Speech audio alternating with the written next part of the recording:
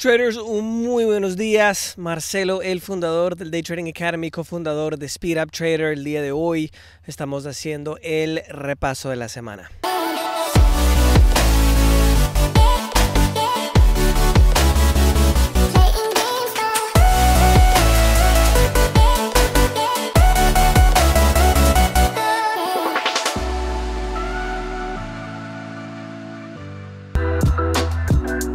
Muy, muy buenas noticias esta semana sobre el Bitcoin y el estímulo y también otras noticias. Al final tengo unas noticias sobre los billonarios en el mundo y también una situación donde eh, en inglés se dice anarchists, que en español yo creo que se dice eh, personas que hacen anarquía. No sé cómo conjugar el verbo, se dice en español. Pero unos manes trataron de... Eh, eh, tomar el gobierno de un estado en Estados Unidos. O sea, lo que no ha pasado desde el principio de la revolución y es parte de lo que le estaba diciendo sobre la cuando cae el orden en Estados Unidos. Ustedes en los países que están, hasta en España, Latinoamérica, los países no son tan seguros, ¿cierto? Cuando caiga no solo el orden, pero el capitalismo en Estados Unidos, todos estamos fregados. Entonces, el lunes los mercados generalmente más positivos. El martes eh, bajaron un poquito después que Trump dijo que no iba a aceptar el estímulo del otro partido de los demócratas en Estados Unidos pero que lo iba a negociar después de la elección. Miércoles los mercados se dispararon después que él dijo que y sí iba a soportar un tipo de estímulo de pronto un poquito más alto, después que él también dijo, primero dijo que no, después que sí, ustedes saben cómo son las políticas. Jueves mercados son más altos después de que eh, había un pensamiento que de pronto iban a tener otro estímulo un poquito más grande.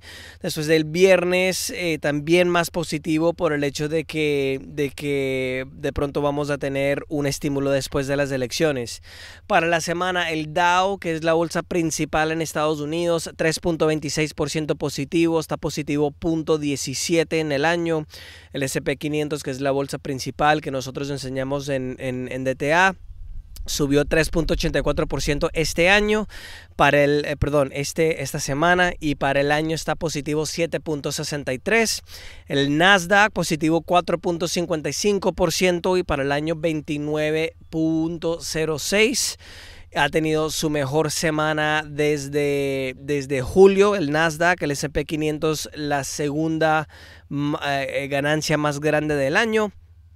Y en los mercados internacionales, no sé si ustedes saben, pero los mercados internacionales les gustaría que ustedes, ustedes saben lo que va a venir, ¿cierto? Deja tu like. Eh, hago los videos completamente gratis, ayuda bastante, entonces deja su like acá en el video si les gusta. Si tienen preguntas, numeral Ask Marcelo, que ya tengo mi puestico acá, con mira mis, mis ositos, mira, ya tengo uno nuevo, sí, míralo, míralo, míralo. Hello.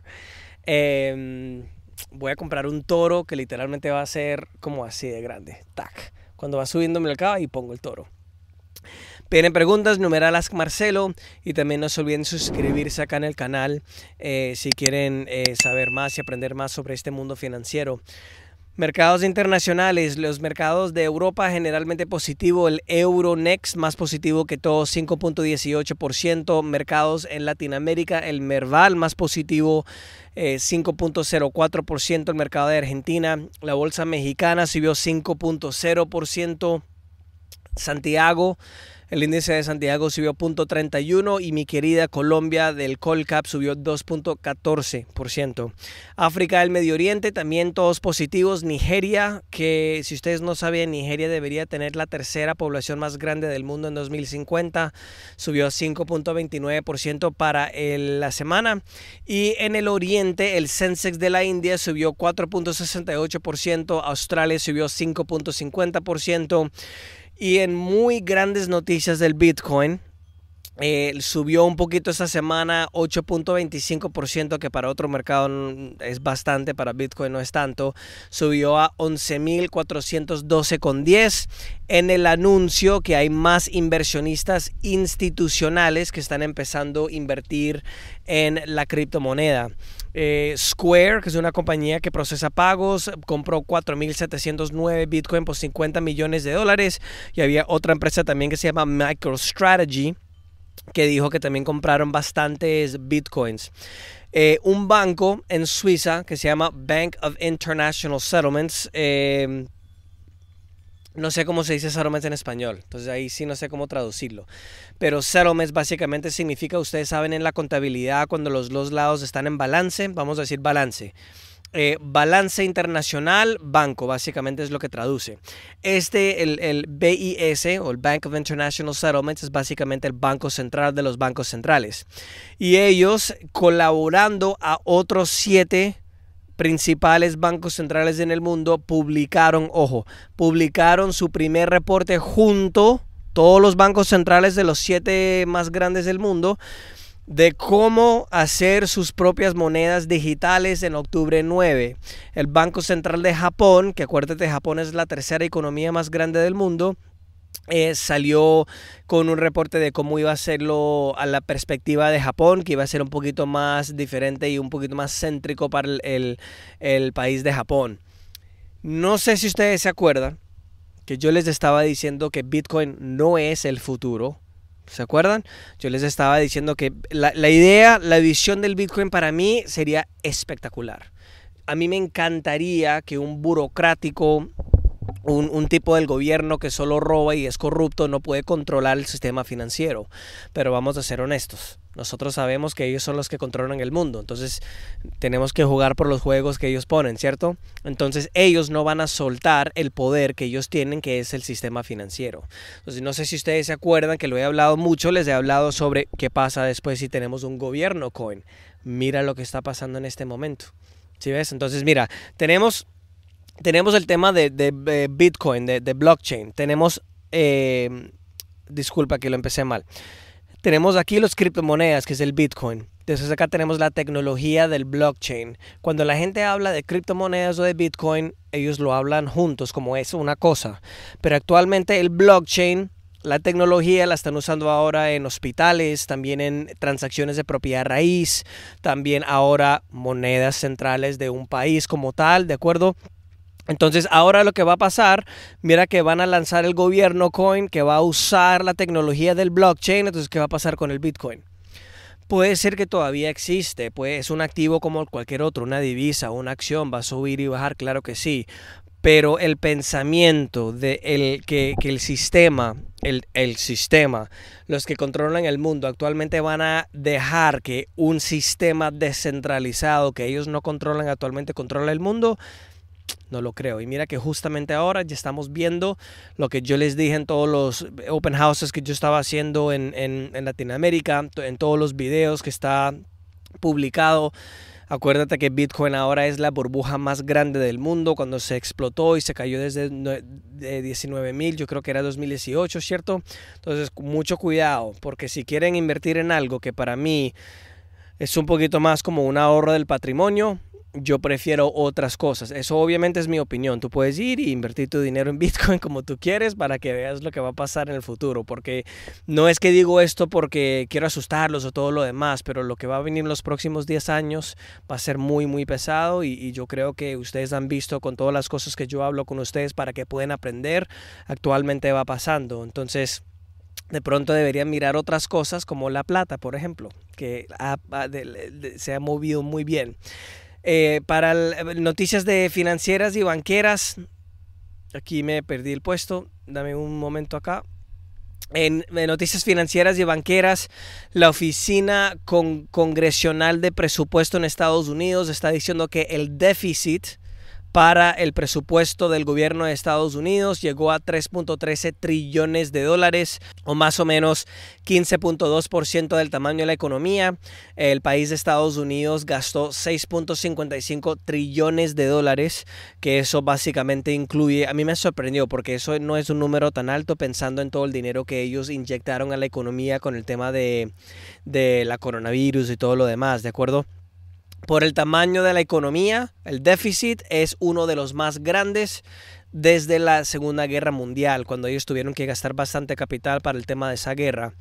Eh, Trump también habló sobre un estímulo un poquito más pequeño, como les comenté, él dijo que no iba a firmar un estímulo si no era solo para poner el dinero, los 1.200 dólares que nosotros necesitamos. Eh, la población. Obviamente hay muchas personas con desempleo, muchas personas que actualmente necesitan ese dinero. Eh, también el real, que es la moneda de Irán, están diciendo que, que está llegado, se devaluó a un nivel más bajo de la historia, especialmente contra el dólar por el tema de la pandemia, la coronavirus y también las sanciones de Estados Unidos. En este momento está vendiendo en 304.300 y el, el, como Argentina, el, el cambio oficial está en solo 42.000. Afuera de eso, la moneda ha perdido 56% de su valor en 2020, mientras que tuvieron esa crisis económica y también la caída del petróleo. Es como Venezuela, que ellos realmente no tienen una economía afuera del petróleo. Afuera de eso, los commodities, los precios del petróleo se bajaron el viernes después de que ellos estaban en ruta para tener su mejor semana desde junio. Em, el, huracán Delta, que era un huracán bastante fuerte, llegó otra vez y pegó el mismo lugar que otro huracán pegó hace seis semanas.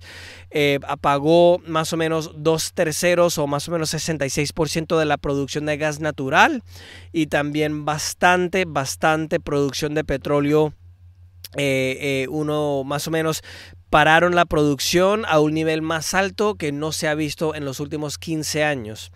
Y afuera de eso también el petróleo subió 9.58% para la semana, el de Estados Unidos llegó a 40 dólares 60 centavos, para el año todavía está negativo casi 34% y el Brent internacional que se llama Brent, el crudo, subió 9.11% para la semana y todavía está negativo 35.15% en 2020.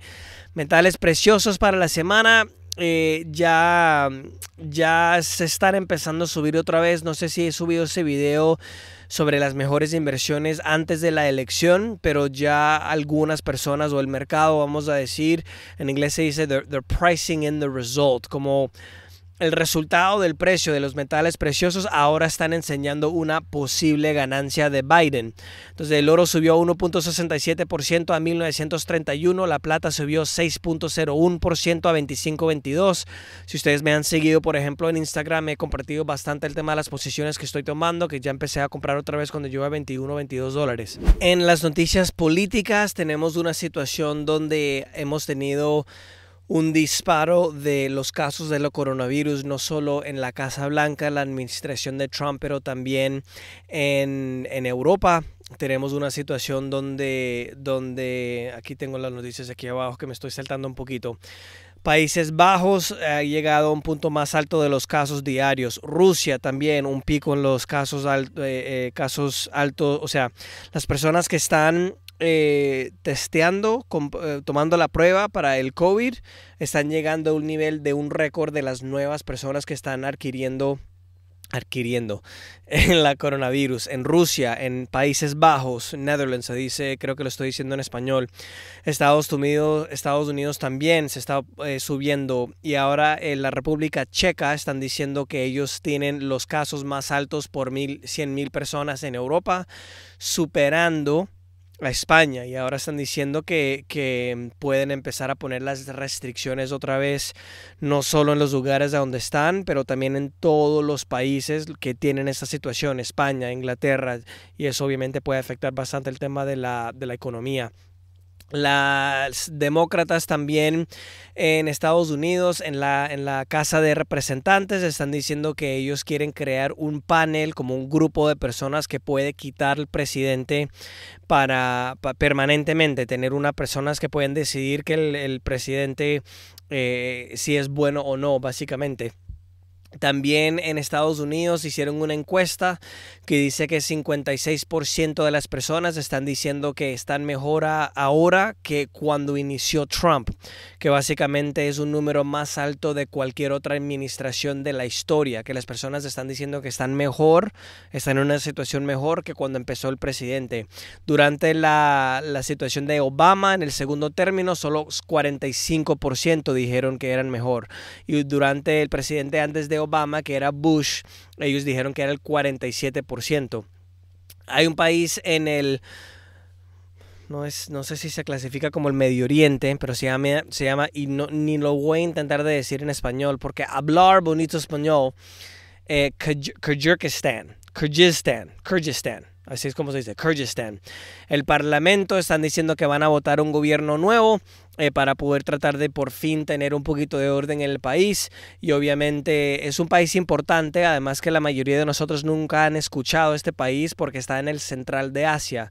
Y obviamente mucha infraestructura y, cosas como, si ustedes no saben, la mayoría de los productos en el mundo se mueven con barcos y después cuando llega a la tierra es con camionet, camionetas, no, como los camiones, los camioneros, eh, los, los camiones grandes que tienen los 12, 14, 16 ruedas. Entonces, es importante porque es un punto estratégico donde, es, donde va la infraestructura de muchas cosas entre Europa, por ejemplo China, además que ellos mandan cosas por el barco, están construyendo, eh, eh, The Silk Road se llama, la, no sé cómo se dice Silk en español, pero básicamente están construyendo una carretera y, y también trenes por esa zona de, de, de, la parte central de Asia. Afuera de eso, Bolivia también tiene una votación para el nuevo presidente, además que muchos votadores no están decididos. Tenemos Luis Arce, que es el candidato socialista, como vimos que funciona tan bueno en Argentina, en Venezuela, ¿cierto? Deberíamos seguir votando en Bolivia también para la misma cosa, para ver si funciona. O el centrista presidente Carlos Mesa, todavía está adelante por solo 6%. Entonces, vamos a ver si actualmente votan por algo bueno para el país. Noticias económicas en Estados Unidos a las personas eh, pidiendo eh, desempleo eh, bajó un poquito la última semana, llegó a 840 mil la semana que termina en 3 de octubre, además que estaban esperando 849 mil.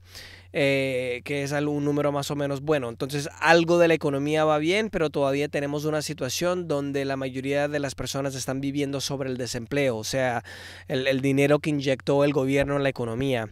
Canadá va bien también, ellos eh, ganaron 378 mil... Hay algo aquí en el pelo, aquí afuera. ¿Cómo, ¿Cómo me veo? Hola bebé, ¿cómo estás pues? Em, así es como se hablan las paisas, ¿cierto? Mis paisas. Pongan en los comentarios a ver qué tal.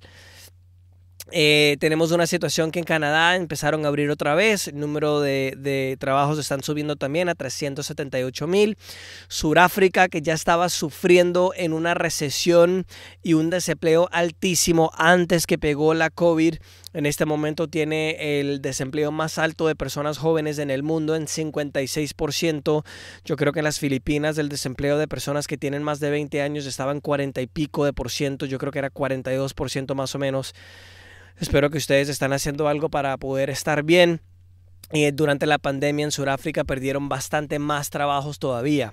La economía de Inglaterra paró de crecer tan rápido. En agosto los números que se están reportando enseña que actualmente no están creciendo tan rápido como antes. O sea, en el mes de julio es el cuarto, cuarto mes consecutivo de crecimiento, pero no está creciendo tanto como antes.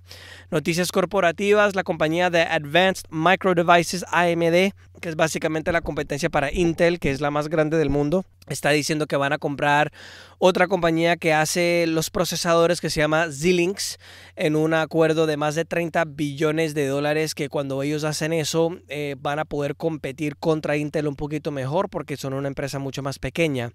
En noticias del comercio, el negociador, se dice en español, una persona que negocia, negocia, hablar bonito español señor que se llama Michel Barnier está diciendo que todavía tiene un quiere un poquito más concesiones por el lado del Reino Unido antes de entrar en las últimas negociaciones que son más intensas el 15 de octubre.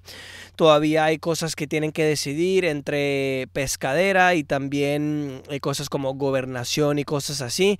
Si no tienen un acuerdo, hay un riesgo que, que no van a tener un, un acuerdo para los 900 billones de dólares de comercio entre los dos países. Obviamente Europa no es un país, pero como la Unión Europea usa la misma moneda, yo lo llamo un país porque es un sistema económico central. Afuera de eso, Apple está, eh, está, va a lanzar su nuevo iPhone la próxima semana, el 13. Eh, seguramente van a lanzar el primer iPhone que tiene la capacidad para el 5G.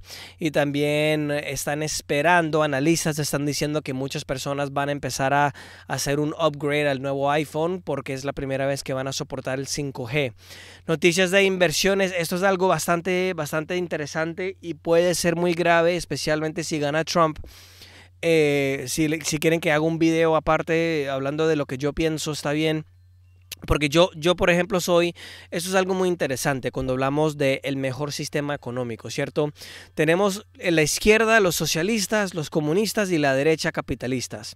Obviamente tenemos una guerra entre los dos, pero yo la manera que pienso es qué tipo de corrupto prefieres. Porque en la mayoría de los países de ustedes no importa con, para quién votas, al final del día van a ser corruptos. Entonces, ¿preferimos el corrupto de la derecha o de la izquierda? Es así de simple.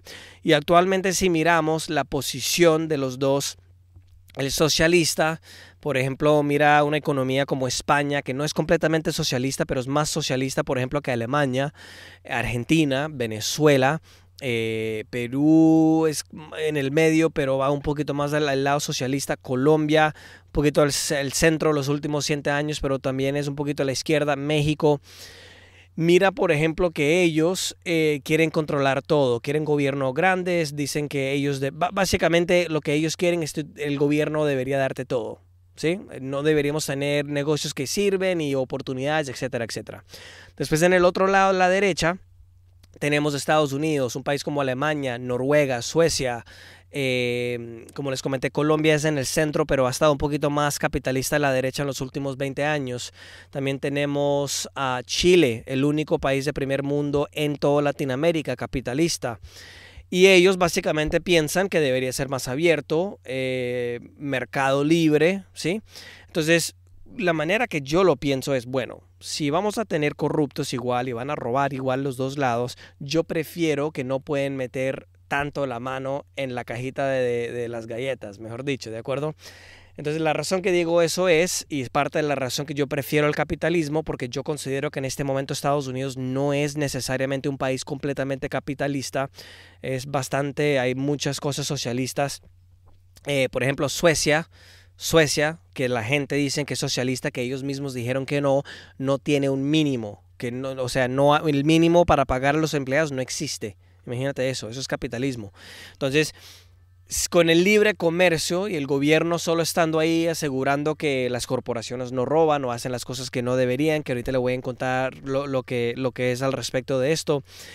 Cuando el gobierno es más pequeño, la gente no puede robar tanto porque no tienen tanto control. ¿sí? Esa es la manera que yo pienso, porque al final del día, si van a robar, si van a ser corruptos, tenemos que asegurar que roban menos. Y esa es la razón que a mí me gusta el capitalismo mejor que el socialismo, porque cuando llegan a ser corruptos y pueden controlar todo, como Venezuela, por ejemplo, o Argentina, por ejemplo, mira que las cosas se ponen graves. Entonces, hicieron un reporte en Estados Unidos de, se llama antitrust, eh, básicamente anti, monopolio, vamos a decirlo en español. Después de una investigación de 16 meses, está diciendo que los cuatro, las cuatro compañías de tecnología, Google, Amazon, Apple y Facebook, tienen un poder de una monopolia. ¿Monopolio? Monopolia. Y hay unas, algunas sugerencias que deberían separar algunas de las empresas que a mí me parece buena idea, porque a mí me parece que una compañía nunca debería tener control de un mercado completo y ahora lo que están haciendo es que están censurando gente. Por ejemplo, Facebook, en mi opinión, lo que deberían hacer es dividirlo. Facebook solo debería ser Facebook, Instagram debería ser otra empresa, WhatsApp debería ser otra empresa, Google igual, deberían separar YouTube para que estas no los puedes dividir completamente, por ejemplo, los bancos Acuérdate que vivimos en un mundo global. Ellos no pueden separar o cambiar el sistema porque después los bancos de otro país van a ganar porque son mucho más grandes, ¿sí ves? Entonces hay maneras que podemos controlar eso y ellos están sugiriendo separaciones estructurales del negocio, también prohibiendo las plataformas dominantes, asegurando que no van y se compran otras compañías en otras industrias para que puedan crecer más rápido. Eso me gusta porque para mí el libre comercio es, mira, En Colombia, por ejemplo, no sé cómo es el país de ustedes, pero solo puedes comprar internet de dos, dos compañías. Eso es todo. Imagínate si había cinco o seis. Las compañías de electricidad, igual. Una persona de una ciudad tiene que comprar la electricidad de la misma compañía. ¿Por qué no lo hacen para que hay tres o cuatro compañías, todos inviertan en la infraestructura, los cables, los tubos, todo lo demás? Pero si alguien no hace lo que debería hacer, el dinero no va a ti, el dinero va al otro. Esa es la, esa es la belleza del capitalismo. También India está diciendo que ellos van a tratar de crear una campaña nueva para poder tratar de crear a India como una un centro de fabricación, especialmente lo que ha pasado con el tema de, de, China. Ellos quieren que muchas personas van a India para poder construir el tema de todos los teléfonos inteligentes. Ellos quieren tratar de traer muchas firmas, 16 firmas están involucrados en este proyecto, incluyendo las personas, los proveedores de Samsung y Apple. También tenemos una situación donde como hay como las encuestas, que yo no creo que son actualmente eh, correctas, porque mira lo que pasó con los números de Brexit, los números de la última elección con Trump y, y Clinton, que como hay una buena posibilidad que gana eh, Joe Biden. Eh, los ETFs o los índices de inversión en energía limpia han subido 14% este mes sobre, si lo comparas por ejemplo con el índice de S&P 500, solo es 4%. Entonces ahí la gente está pensando que de pronto si gana Biden es algo bueno para la energía renovable porque como él es un poquito más estricto con el tema del ambiente, que el gobierno va a mandar a las personas a invertir en esas cosas más que otras. Afuera de eso, en las noticias internacionales, eh, lluvias fuertes en Nigeria, Niger y también Chad ha afectado bastante eh, esos países. Eh, además que Chad ha tenido la, la, lluvia más pesada los últimos 30 años. Las la inundaciones de Niger también ha afectado doble la población estimada y también en Nigeria eh, no ha sido tan grande como las inundaciones que tuvieron en 2019, pero todavía fue muy significado. ¿Se acuerdan lo que les comenté sobre lo que iba a pasar en los próximos 10 años? El año pasado, 2019, les conté que yo iba, yo pensaba que los, los próximos 10 años van a ser muy pesados.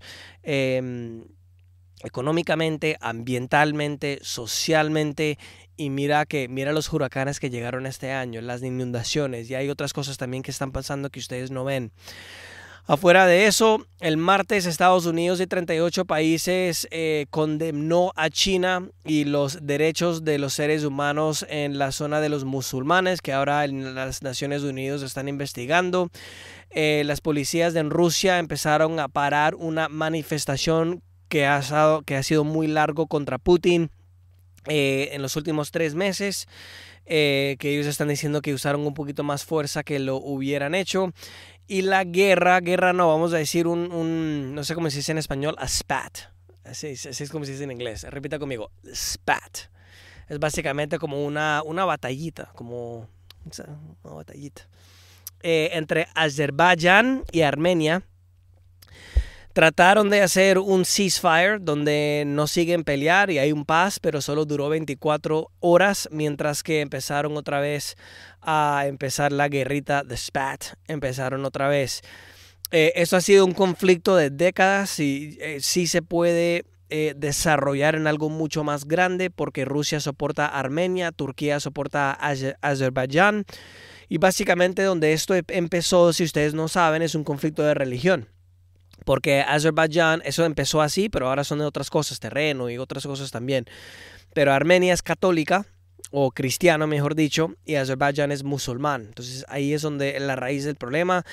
Y como los países más grandes, que son unas fuerzas militares bastante potentes como Turquía y Rusia, han apoyado estos países también, hay una posibilidad que no se calma, porque la última vez que tuvieron este, esta batallita que se, se salió fuera de control, era en los noventas, o sea, no es que ha parado. Puede ser que llegue a ser un poquito más grande y entra una guerra, un conflicto Rusia y Turquía. Afuera de eso, durante la pandemia, los billonarios en el mundo llegaron a un nivel más alto de riqueza eh, y subió a 10.2 trillones de dólares Y, es un pensamiento que para mí es un poquito complicado cuando yo pienso de la manera que piensan el latino, ¿cierto? Porque como yo me crié toda la vida en Estados Unidos, el latino piensa que el otro no debería tener dinero. Como yo no tengo, él, él lo hizo ilegalmente o se lo dio el papá, etcétera, etcétera, etcétera, ¿cierto?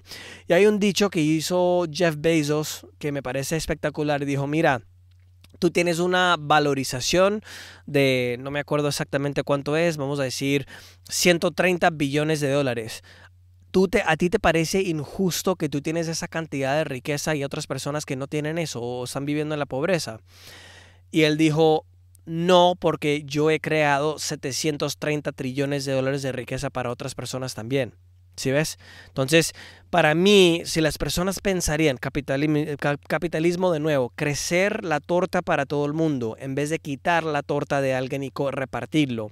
Si crece para todo el mundo, sí, otros van a tener mucho más pero mira que todo el mundo tiene más. Esa es la razón, por ejemplo, que en Estados Unidos hay una diferencia, hay otras razones también, pero hay una diferencia entre los más ricos y los más pobres, hay un extremo muy grande ahí, pero mira un, un país socialista, por ejemplo, como Venezuela o Argentina, que es socialismo puro, mira que todo el mundo es pobre, básicamente. O sea, hay un extremo entre la pobreza y la riqueza mucho más grande y la mayoría, la, la pobreza extrema, por ejemplo, en Venezuela y Argentina es o sea, un, un nivel absurdo.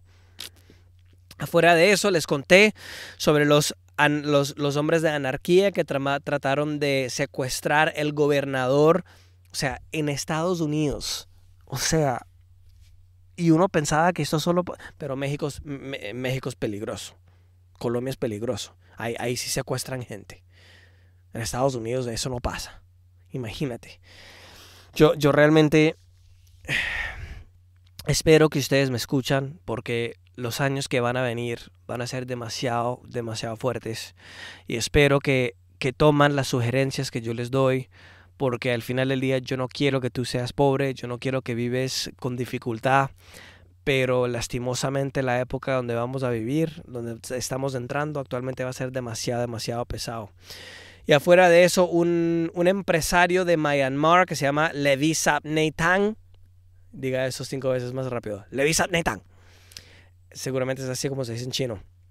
Eh, eh, ella tiene una empresa de, de perfumes, de, de, Yo creo que ustedes entienden la palabra perfume.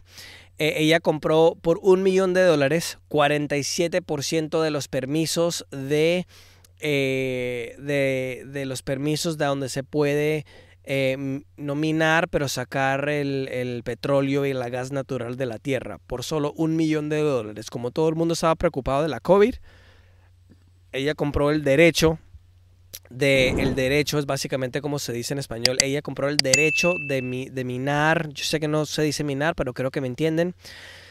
Eh, para sacar los minerales, o sea, gasolina, petróleo, gas natural, en 47% de todo el terreno que estaba ofreciendo el gobierno de Estados Unidos. Son 35 mil hectáreas, imagínate.